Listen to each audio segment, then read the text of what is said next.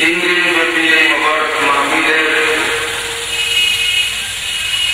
আমি উপস্থিত হতে পেরে নিজেকে অত্যন্ত ধন্য মনে করছি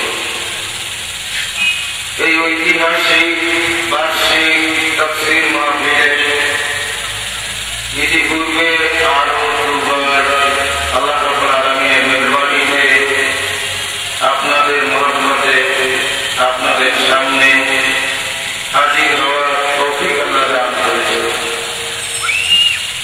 এবছর মনে খুব ভয় লাগছে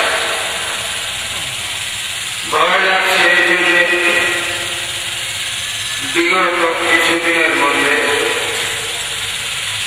এই সিলেটের সকলের কাছে পরিচিত বাংলাদেশের অত্যন্ত অধিক হজরত ইসমুজি রহমান